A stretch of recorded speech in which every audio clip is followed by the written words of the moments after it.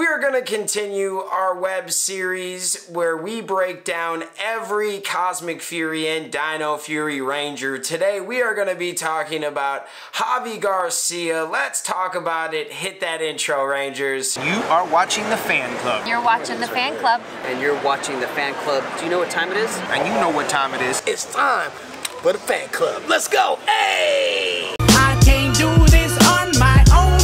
Cause you know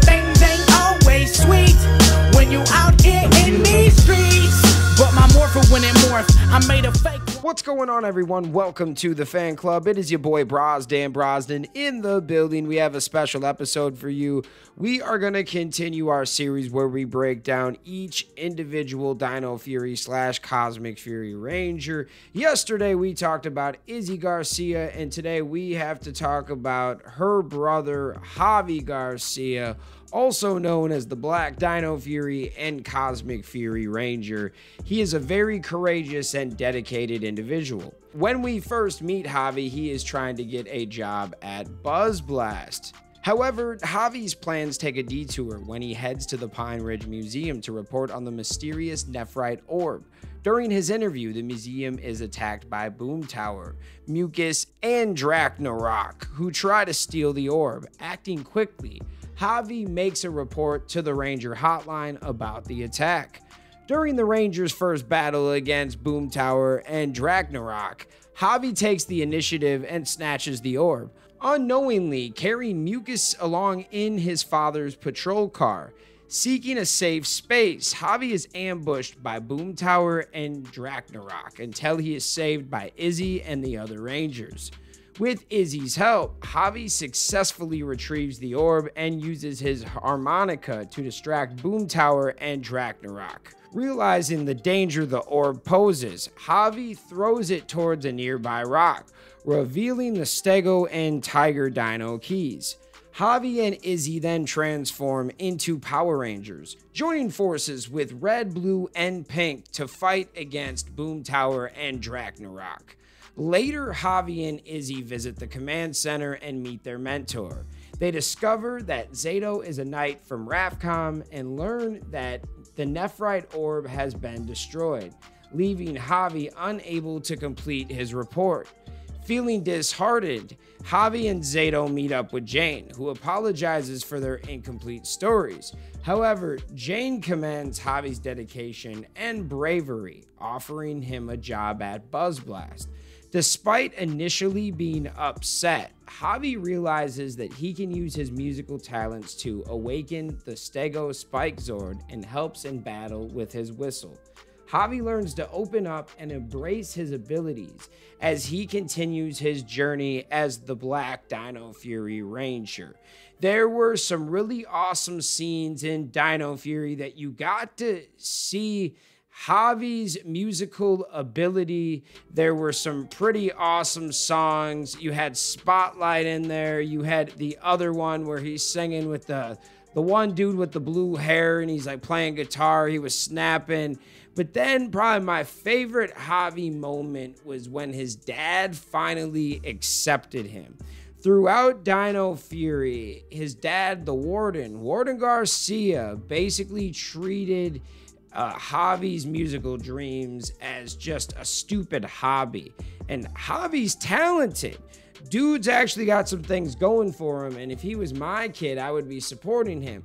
And then towards the end of season two, he actually has his dad on his side and he apologizes and he tells him that he is going to support. And now he's like his biggest fan. So that's something that I loved how they developed that character in Dino Fury. But I have to say that he's probably one of the most underdeveloped characters because even the things that did happen were more of the characters around him developing. So I loved that in Cosmic Fury, we got to see more of him, and I absolutely loved it. So Javi faced numerous challenges and hardships throughout his journey as a Power Ranger. During a fierce battle with the Sentinels on Zordnia, the Morphin Masters were absorbed by a machine created by Scrozzle. However, before being absorbed, Master Red entrusted Javi with his staff, which granted him a vision. This vision led Javi and the team to an altar that would unleash the Cosmic Fury Zords. As Javi inserted the staff, a powerful surge of energy coursed through him, resulting in the destruction of his right arm. Overwhelmed and in shock, Javi was forced to retreat back to the base with the help of Mick. The loss of his arm left Javi questioning his abilities, especially after a cybernetic replacement created by Billy and Solon caused unforeseen issues. Despite these setbacks, Javi was determined to continue fighting alongside his team. When the base's engines were repaired and Fern joined as the Orange Cosmic Fury Ranger, Javi and the Rangers returned to Earth to liberate it from the reign of Zed.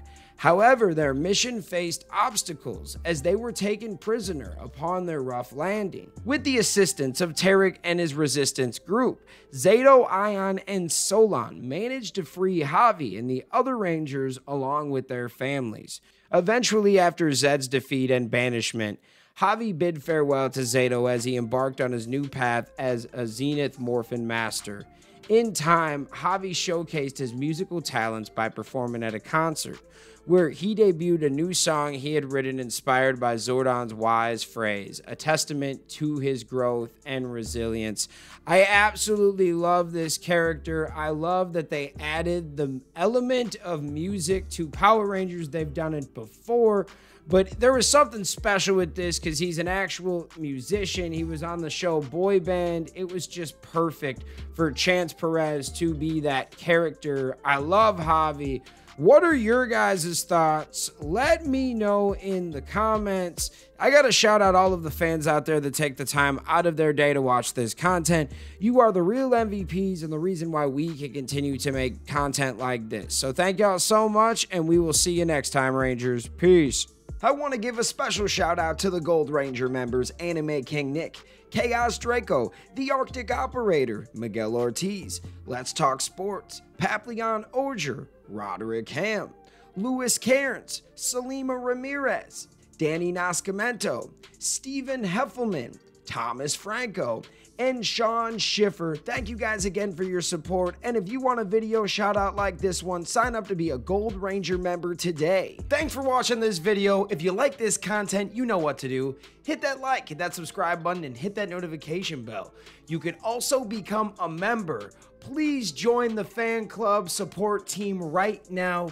We have a Blue Ranger power up and a Gold Ranger power up. This is an awesome way to talk with the fans, join a fan club official chat group. You can also be featured in our videos. At the end of the videos, I will shout you out. That's if you get the Gold Ranger Power Up membership. Go check it out. Go support the fan club. We love you guys. And thanks for watching. Peace. Hi. Hi. We're Bulk and Let's Skull. go. We, We have are been requested, requested by, by the, the fan fan club club to to say say something something funny.